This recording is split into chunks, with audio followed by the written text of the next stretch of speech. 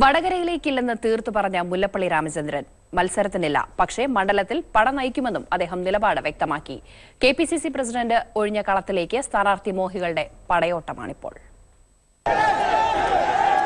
ഉറച്ച ഇടതുകോട്ടയായിരുന്നു വടകരയെ രണ്ടായിരത്തി ഒൻപതിലാണ് മുല്ലപ്പള്ളി അട്ടിമറിച്ചത്. വഴിയൊരുക്കിയത് ടി പി ചന്ദ്രശേഖരന്റെ ആർ എം പിയും അന്നത്തെ ഭൂരിപക്ഷം അൻപത്തി ആറായിരത്തി ഒരുന്നൂറ്റി എൺപത്തിയാറ്. രണ്ടായിരത്തി പതിനാലിൽ സി പി എം സർവസന്നാഹം എടുത്തിട്ടും മൂവായിരത്തി മുന്നൂറ്റി ആറ് വോട്ടുകൾക്ക് മുല്ലപ്പള്ളി തന്നെ വിജയിച്ചു. യു ഡി എഫ് ഭൂരിപക്ഷത്തിലെ ഇടിവും ആർ എം പിയുടെ വോട്ട് ചോർച്ചയും കൂട്ടിവായിച്ച് ഇത്തവണ ഇടതുമുന്നണി ഉറപ്പു പറയുന്ന മണ്ഡലത്തിലെ മത്സരത്തിൽ നിന്നാണ് മുല്ലപ്പള്ളിയുടെ പിന്മാറ്റം. K P C C president എന്ന നിലയിലെ ചുമട് പുറമേയും. എന്നാൽ മണ്ഡലം നിലനിർത്താൻ ഹൈക്കമാൻഡ് ആവശ്യപ്പെട്ടാൽ മുല്ലപ്പള്ളി വടകരയിൽ മൂന്നാം അംഗത്തിനിറങ്ങുമെന്നൊരു അടക്കം പറച്ചിൽ കോൺഗ്രസിലുണ്ടായിരുന്നു. മുല്ലപ്പള്ളിയുടെ തിരുത്തിലുണ്ടായത് ജനമഹായാത്രയ്ക്കിടെ മാനന്തവാടിയിലും.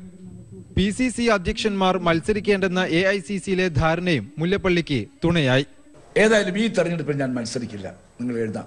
എണ്ണിപ്പറഞ്ഞാൽ മേലെ മേലെ ചെങ്കൊടി പാറുന്ന മണ്ഡലത്തിൽ തോൽവി ഭയക്കുന്നുവോ എന്ന ആശങ്ക അസ്ഥാനത്താണെന്ന് മുല്ലപ്പള്ളി അടിവരയിട്ട് പറയും.